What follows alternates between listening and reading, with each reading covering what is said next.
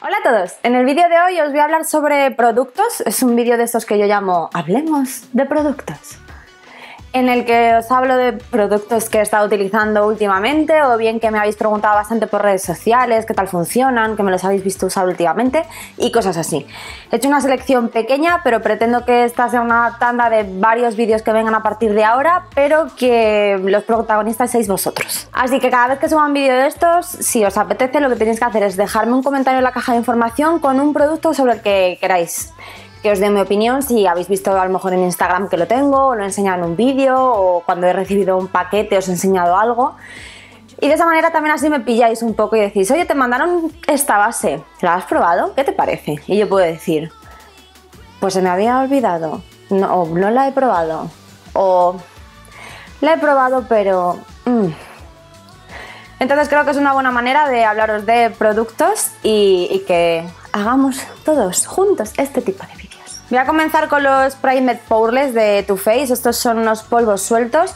Muchas veces eh, es una de las preguntas a lo mejor que más recibo, eh, cómo sellar el maquillaje, la zona de la ojera que deja pliegues, la, zona T que tiene el poro más dilatado, cómo disimular ese, ese poro dilatado o esas arruguitas con un polvo sin que quede ahí la raya de pliegue a lo largo del día.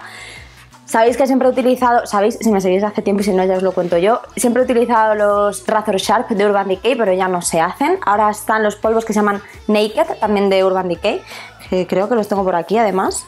Vale, os dejo una foto. Estos. Ah, están aquí. en serio. Son los Naked Skin y también es un polvo suelto. Este tono que tengo yo es el Medium Dark. Los utilizo para todo el rostro y dar un poquito de tono. Pero si lo lo buscáis en un tono que sea más bajito, pues va muy bien también porque es un polvo muy fino y se parece a los Razor Shadow. Pero eh, estos están muy bien, son el tono que son y ya está. Y la verdad es que me han gustado mucho. Me lo habéis recomendado durante mucho tiempo y al final los compré en, Bilbao. Sí, tengo un estornudo. Y bueno, el caso es que me gustan mucho y sí que sella súper bien toda la zona de agujera. Entonces, bueno, eh, no sabría recomendaros un polvo low cost porque, por ejemplo, tengo estos de NYX, que son polvo suelto, pero estos que tengo yo son Pure Shimmer, Shimmer y brillan. Entonces, no. Brillan porque tienen un poco de destello, no porque luego con flash haga pantalla, que no hacen pantalla, pero tiene ahí un destellito que no me gusta.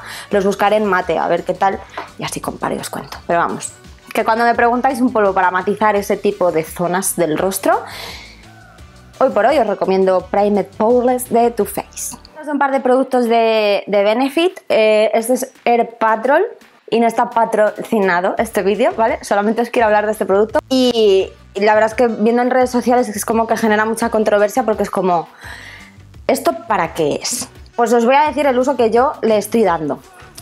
Yo. Yo. Lo estoy utilizando como una prueba de párpados, pero para aquellos días que no me voy a maquillar con sombras. Es decir, como hoy. Hoy no llevo sombra de ojos, hoy llevo simplemente el eyeliner. Entonces lo que he hecho ha sido utilizar este producto para igualar el tono del párpado y es como si fuese una BB cream para el párpado. Entonces tiene las propiedades que tienen las BB creams. Tiene protección solar, tiene del 20 PA+++++ y tiene esa propiedad como de las BB cream que es de unificar el tono de la piel. Protege contra los agentes externos y estas cosas y bueno, lo curioso de este producto es el aplicador. A lo mejor la próxima vez os lo enseño antes de haberlo utilizado y que no esté ya un guarrete. Pero bueno, el aplicador, mirad, es súper blandito y es un, es un tipo de silicona que realmente lo que han querido es que sea tan suave como la yema del dedo. Entonces directamente con esto lo vas difuminando. La cosa es lo que os digo, que es para mm, unificar el tono del párpado.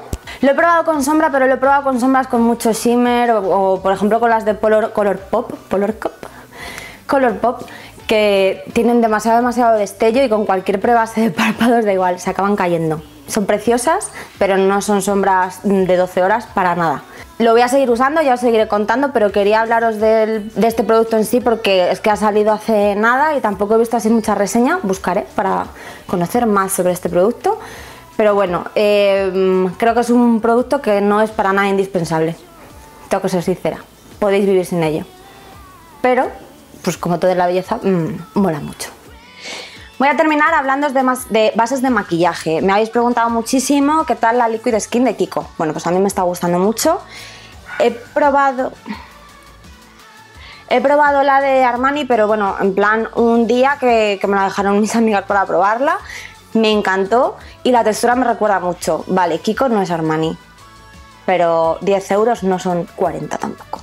El tono que yo utilizo en esta base es el Warm Beige número 15. Es una base que viene con este tipo de dosificador de gotitas, gotero o chorrito, depende de lo que apretes. Mi piel es mixta, no la he utilizado en otro tipo de pieles, os lo digo, solamente en mí y es mixta con tendencia grasa y la verdad es que no me sale un brillo excesivo a lo largo del día. En verano puede que un poco más, con cualquier base me pasa.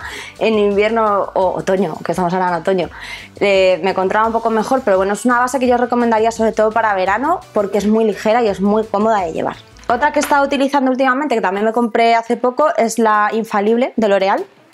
24 eh, horas mate y el número que yo utilizo es el 22 Beige Eclat Radiant Beige. Esta base me parece perfecta para el día a día, para mi tipo de piel, lo que os digo. Me está con tendencia grasa, a salirme brillas a lo largo del día. No es una base que realmente tú notes que aguante muchísimo. No, es como para una mañana, una tarde, ¿sabes? En, ese plan de tengo que hacer algo, pero no me voy a tirar todo el día por ahí. Pues bueno, va bien. Mmm es que si me la pongo por la mañana, cuando llego por la tarde a casa sí que noto que ha desaparecido bastante la base de maquillaje. Pero bueno, por el precio que tiene, la verdad es que me está gustando mucho, es un poco en plan low cost, más o menos, L'Oreal. Y, y, es acabado mate, está fenomenal porque sí que noto que con esta base no me tengo que matificar mucho el rostro y el dosificador es así, viene como en tubito y os voy a confesar una guarrada que hago. Bueno, no es que sea una guarrada, ¿vale? Es algo como muy cómodo. Cojo la brocha, esta es la Buffy Brush de Real Techniques y directamente hago así con la base y ya me maquillo. Decidme que no soy la única que hace este tipo de cosas cuando lleva prisa. Y nada más, hasta aquí el vídeo de hoy. No olvidéis dejarme en comentarios si queréis que os hable algún producto que veáis en Instagram, en algún otro vídeo, lo que sea.